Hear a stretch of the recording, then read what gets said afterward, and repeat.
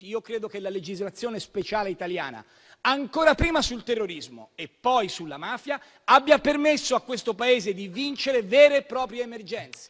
E io credo che sul 41 bis il dibattito che dovremmo fare è sì un dibattito storico, ma è un dibattito che dovrebbe renderci orgogliosi della politica. Perché vedete, è stata la politica a sconfiggere la mafia. Non è vero come ci hanno raccontato per 30 anni che la politica era schiava della mafia. Certo ci saranno state responsabilità di singoli, ma la politica con il ministro Martinazzoli che costruisce l'aula bunker per Giovanni Falcone quando egli gli chiede di fare il più grande processo della storia penale del paese, è la politica che ha vinto in quel passaggio. E quando taluni magistrati e correnti giudiziarie attaccano il ministro attaccano il giudice Falcone, è il ministro della Repubblica Martelli che lo chiama a Roma, dandogli la possibilità di essere in prima linea nel combattere la mafia. E quando Falcone viene ucciso dalla mafia, in quel momento lì è lì che nasce il 41 bis per tentare di distruggere la mafia, cosa che sta avvenendo. Alla faccia di tutti quelli che ci raccontano che ci sono state più o meno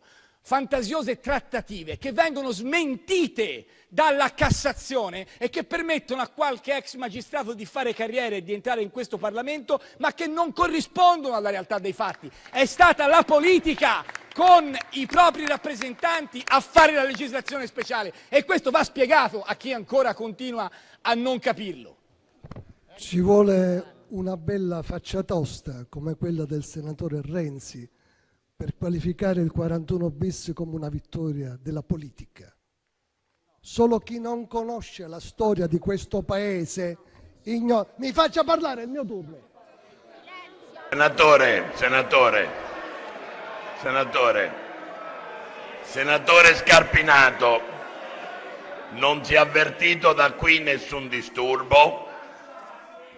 Senatore Gasparri, la prego di rivolgersi alla Presidenza e attraverso la Presidenza, se vuole, agli altri colleghi, magari usando, una, se ritiene, un linguaggio consono. Grazie. Spero che potrò recuperare questi secondi. Il senatore Renzi ignora che la legge che introdusse il 41 bis è una legge sporca di sangue, perché è una legge che fu introdotta esclusivamente con il sangue versato da Paolo Borsellino e dai cinque agenti della scorta, trucidati nella strage di Via D'Amelio e della indignazione popolare che ne seguì, che costrinse un Parlamento riottoso che non voleva approvare il 41 bis definendo forcaiolo e giustizialisti che lo proponevano, a approvare il 41 bis. Quindi non fu una vittoria della politica, ma fu una vittoria dello Stato, della società civile e di tutti quanti si resero in quel momento conto che, che non si poteva. È una legge sporca di sangue e non si può definire una vittoria della politica. Signor Presidente, Signor Presidente, grazie della parola. Il senatore Scarpinato, intervengo ovviamente solo per fatto personale come prevede il regolamento, ha iniziato il suo discorso dandomi della faccia tosta perché si è sentito chiamato in causa dal mio passaggio sui magistrati che in nome di una fantomatica trattativa smentita dalla sentenza di Corte di Cassazione hanno costruito una carriera in magistratura prima e in politica poi. Vorrei che restasse agli atti del verbale che effettivamente mi riferivo esattamente a Roberto Scarpinato, al quale vorrei ricordare che prima di venire a dare faccia tosta ai colleghi dovrebbe spiegare non solo le sue strane frequentazioni con il dottor Palamara, ma anche il suo atteggiamento del tutto folle nei confronti delle istituzioni di questo Paese, come sa il Presidente della Repubblica Emerito Giorgio Napolitano.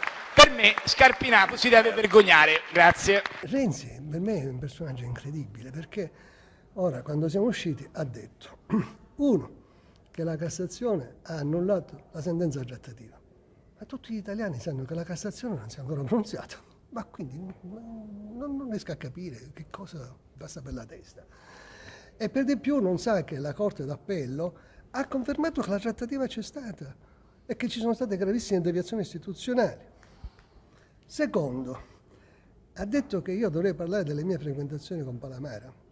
Dunque c'è stata un'indagine enorme in cui sono state divulgate e sono conosciute le chat in cui migliaia di magistrati, centinaia di magistrati hanno parlato con Palamara, non c'è una sola in cui io e Palamara parliamo.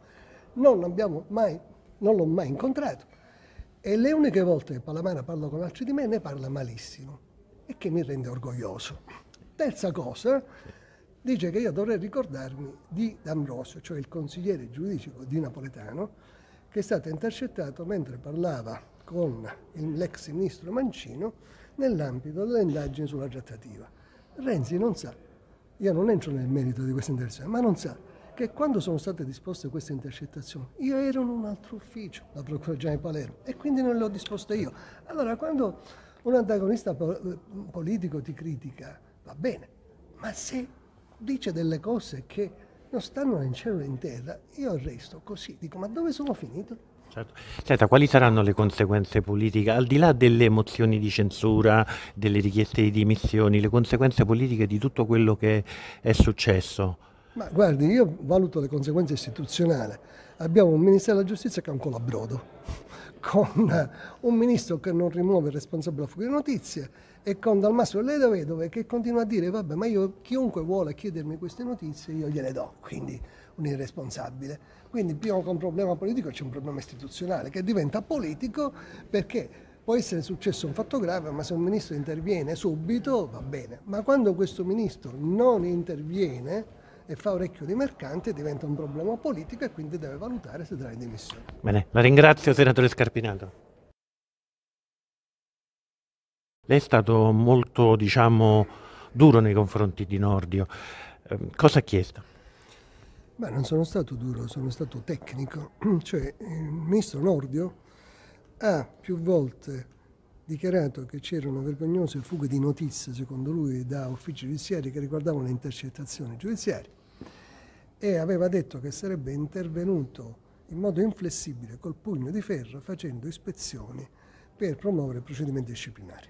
Bene, ora si è verificata una gravissima fuga di notizie che è venuta dall'ufficio che dirige lui e in particolare dal sottosegretario con delega al DAP, dal Masso delle Vedove, il quale ha bellamente dichiarato alla stampa che è venuto a conoscenza per il suo ruolo istituzionale di notizie segrete rilevantissime, e cioè che ci sarebbero capi mafia che stanno cercando di strumentalizzare il caso Cospito per eliminare il 41 bis e ci sarebbero dei rapporti personali e invece di trasmettere queste notizie segrete alla Procura Nazionale di Mafia e poi la Procura della Repubblica per fare indagini rilevanti anche con intercettazioni, le confida un suo coinquilino, quindi rompendo la segretezza del ruolo, Donzelli, il quale per di più poi eh, le rivela a tutta la nazione in aula, compromettendo definitivamente le indagini per motivi di lotta politica,